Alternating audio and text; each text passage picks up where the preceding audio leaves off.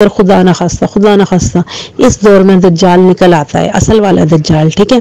बास तो कहते हैं निज़ाम दज्जाल है, बास कहते हैं टेक्नोलॉजी दज्जाल है, बास कहते हैं नहीं, उसके हाथ में सब कुछ होगा, जो भी है, चले एक्स वाई जेड दज्जाल निकल आता है इस दौर में, अगर खुदा न खास्ता।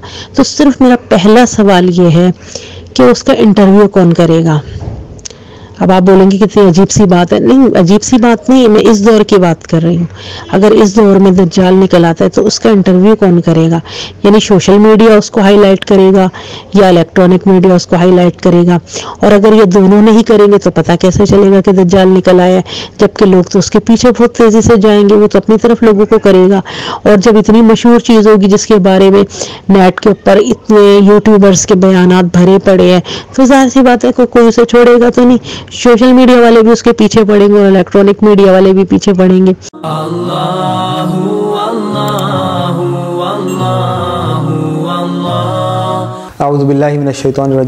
बसमीम ये हमारी बहन का सवाल है कि अगर दज्जाल आज के दौर में निकल आता है तो उसका इंटरव्यू कौन करेगा? बात तो बिल्कुल सही है कि सोशल मीडिया का दौर है और टीवी चैनल्स और जो मैस मीडिया है उसका दौर है। तो जब भी कोई छोटा सा भी इवेंट होता है तो सारे पहुँच जाते हैं इंटरव्यू के माइक सारे जो है ना वो मुँह में घुसेड़ देते हैं कि जी आप बताएँ जी आप बताएँ आप बताएँ क्या हुआ क्या हुआ कैसे हुआ?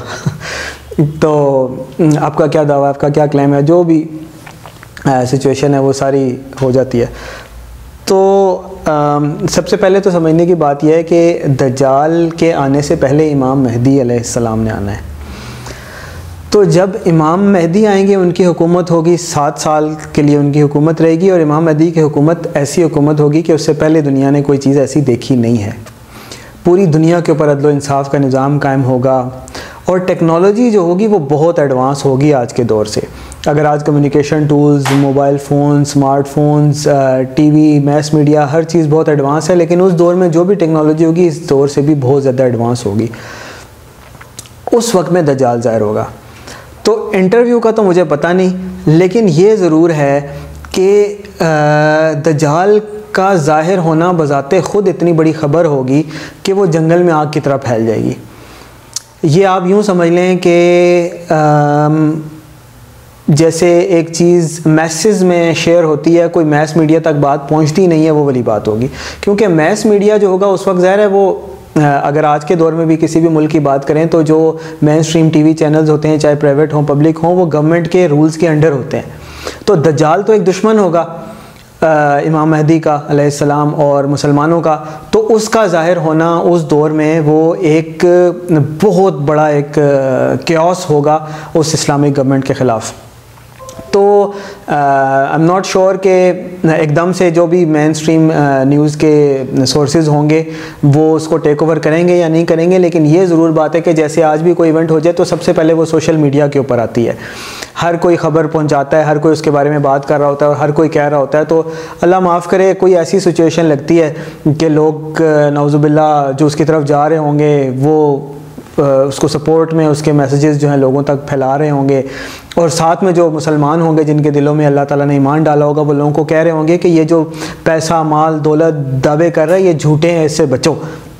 और सूरतुल्कहफ़ पढ़ो, कुल वहद की तलावत करो और कोई भी बंदा उसके सामने ना जाए तो अपने अपने तरीके से लोग उसको फैला रहे होंगे। जो भी उस दौर में कम्युनिकेशन टूल्स होंगे, वो ज़्यादा दूर नहीं है वल्लाम लेकिन लगता है ऐसे ही अगले दस पंद्रह साल में इमाम मदी का दौर भी गुजर जाएगा और उसके बाद दजाल के जहूर का वक्त आ जाएगा।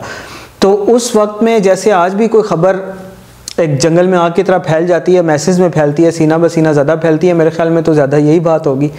तो असल बात यह है कि बजाय इसके कि जो टूल्स और स्पेसिफ़िक चीज़ें हैं उनके ऊपर ध्यान देने के बजाय हमें ज़्यादा ये फ़िक्र करनी चाहिए कि अल्लाह ना करे कि हमें वो दौर देखना पड़े। और उस दौर से पनाह मांगनी चाहिए। और आ, दज्जाल अगर ज़ाहिर हो जाता है तो बजाय इसके कि उसकी ख़बर कैसे फैलेगी? सोशल मीडिया होगा मेन स्ट्रीम मीडिया होगा टीवी चैनल इंटरव्यू करेंगे या इंटरनेट पे पहले इंटरव्यू होगा या कोई और तरीका होगा। इसके बजाय हमें ज़्यादा इस पर ध्यान देना चाहिए कि अल्लाह ना करे अल्लाह ना करे कि हम आ, उसका दौर देखें या हमें उस फितने का सामना करना पड़े। सबसे ज़्यादा इस फितने से पनाह मांगनी चाहिए। उसके स्पेसिफिक्स और वो डिटेल्स तो बहुत ज़्यादा होंगी पावर्स उसके पास इतनी ज़्यादा होंगी नवजुबिल्ला के। अल्लाह ताला ने उसको इस कदर ढील दी हुई होगी कि वो बाकायदा खुदाई का दावा करके उसको नवजुबिल्ला लोगों को ये बावर कराने में कामयाब हो जाएगा कि नवजुबिल्ला वही खुदा है। तो वो बहुत बड़ा ईमान का टेस्ट होगा। बहुत बड़ा ईमान का टेस्ट होगा।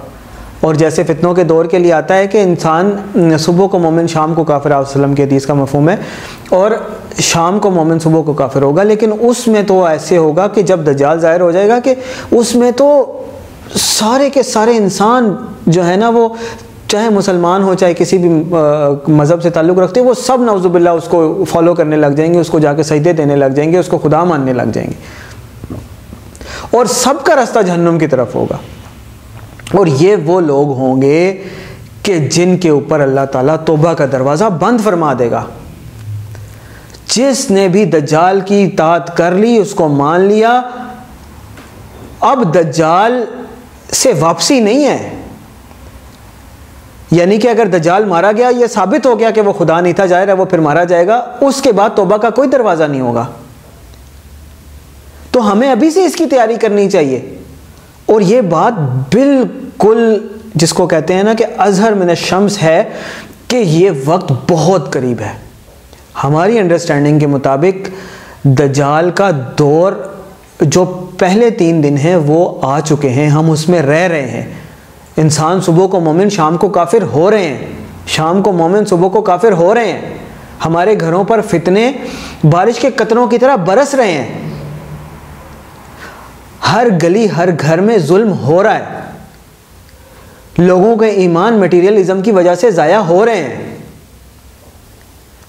ताहूती निज़ाम जिसको चाहता है रिस्क देता है, जिसको चाहता है बंद कर देता है नाउजुबिल्ला जो उसके आगे झुकता है, लगता ऐसा ही है कि वो मज़े में है, वो जन्नत में है, लेकिन असल में वो आग में होता है। और जो इस निज़ाम के आगे नहीं झुकता है, लगता ऐसे है कि उसके पास कुछ नहीं है, वो आग में है, लेकिन दरअसल वो जन्नत में होता है, सुकून में होता है। तो अब अगर दजाल के वो दिन आ चुके हैं, वो गुजर रहे हैं तो किसी भी वक्त एक्चुअल दजाल ने ज़ाहिर हो जाना है, इमामुल मादी के दौर ने किसी भी वक्त स्टार्ट हो जाना है और उसके बाद दजाल ने आ जाना है तो हमें उससे पनाह मांगनी है। अल्लाह ताला हमें दज्जाल से महफूज फरमाए, फितना दज्जाल से महफूज फरमाए, हमें हमारी औलादों को, हमारे अहल खाना को, अहल मोहल्ला को, तमाम मुसलमानों को अल्लाह ताला फितना दज्जाल को समझने की तोफ़ी अता फ़रमाए और फितना दज्जाल से पनाह अता फ़रमाए। अल्लाह नाउज़बिका मिनलफ़ितनतमसीह दज्जाल। और अल्लाह ताला हमारी मदद फरमाए कि हम उस दौर में अल्लाह ना करे अगर हों तो अल्लाह ताला हमें हमारे घर वालों को सबको महफूज फरमाए। आमीन या मुझे बसाइलिन